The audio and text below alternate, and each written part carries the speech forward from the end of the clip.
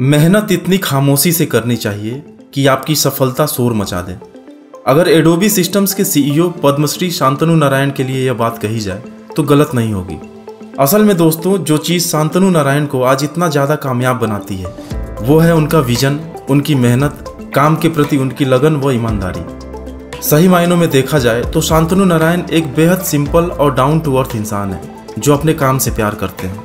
वो हमेशा हर एक चीज़ लॉन्ग टर्म को ध्यान में रखकर ही करते हैं। और आज की हमारी इस वीडियो में हम आपको शांतनु नारायण की इसी इंस्पायरिंग कहानी के साथ साथ उनकी पर्सनल लाइफ और अचीवमेंट्स के बारे में भी बताने वाले हैं। दोस्तों, अगर आपने अभी भी चैनल को सब्सक्राइब नहीं किया है तो प्लीज़ चैनल को सब्सक्राइब करके बेल आइकन को प्रेस कर दें। शांतनु नारायण का जन्म 27 मई 1963 को हैदराबाद के एक संपन्न परिवार में हुआ था। उनकी माँ अमेरिकन लिटरेचर की प्रोफेसर थी, जबकि उनके पिता एक प्लास्टिक कंपनी के मालिक थे।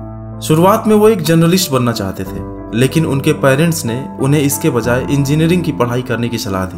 हैदराबाद पब्लिक स्कूल से शुरुआती पढ़ाई करने के बाद, नारायण ने उस्मानिया यूनिवर्सिटी हैदराबाद से इलेक्ट्रॉनिक्स एंड कम्युनिकेशन में इंजीनियरिंग पूरी की और आगे की पढ़ाई के लिए अमेरिका चले गए, जहाँ उन्होंने Bowling Green State University Ohio से कंप्यूटर साइंस में मास्टर्स कंप्लीट करने के बाद कैलिफ़ोर्निया यूनिवर्सिटी के हाउस स्कूल ऑफ़ बिज़नेस से एमबीए की पढ़ाई पूरी की। शांतनु की शादी उनके कॉलेज फ्रेंड रेनी से हुई है और वो अपने दो बेटे श्रवण और अर्जुन के साथ कैलिफ़ोर्निया के एक शहर पेलो ऑल्टो में रहते हैं।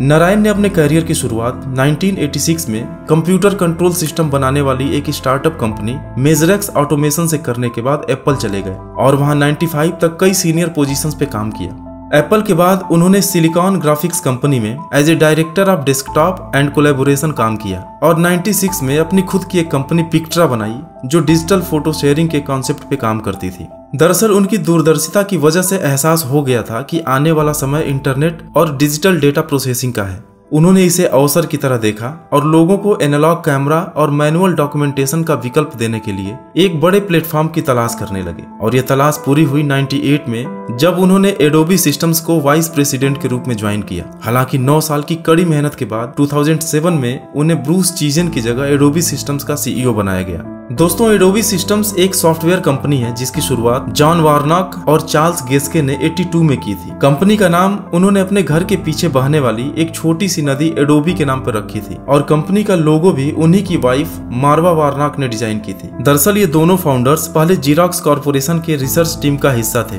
और उन्होंने अपनी खुद की कंपनी बनाकर एक बहुत ही शक्तिशाली computer language PostScript design की, जो प्रिंटर को इलेक्ट्रॉनिक पेज की लेआउट को डिस्क्राइब करता है। वैसे अगर देखा जाए तो आज एडोबी का इमेज एडिटिंग इंडस्ट्री में दबदबा है।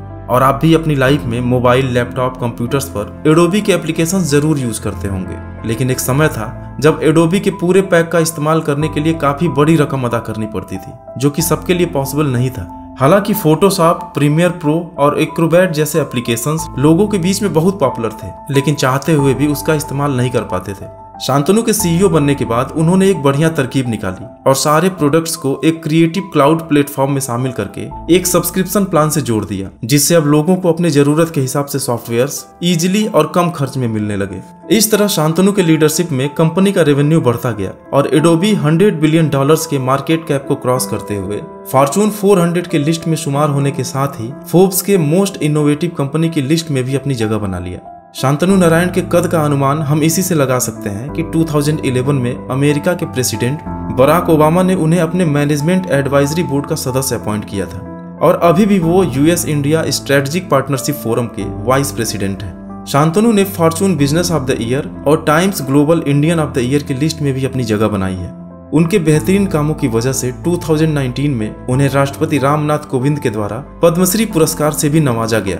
अब आज की अगर बात की जाए तो इस समय शांतनु नारायण की नेटवर्थ लगभग 2000 करोड़ रुपीस के आसपास है और साथ ही उनकी एनुअल सैलरी लगभग 290 करोड़ रुपीस के आसपास है। यानी इस हिसाब से कैलकुलेट किया जाए तो उनकी एक दिन की सैलरी लगभग 80 लाख रुपीस निकल कर आती है। बाकी दोस्तों, आज की इस वीडियो में बस इतना ही। ये वीडियो आपको कैसी लगी, कमेंट करके ज़रूर बताइएगा। आपके सुझावों का मैं हमेशा सम्मान करूँगा। आगे भी इसी तरह की इंस्पायरिंग वीडियोस को लगातार देखने के लिए चैनल को सब्सक्राइब करके बेल आइकन को दबाना ना भूलें। आपके बहुमूल्य समय के लिए धन्यवाद।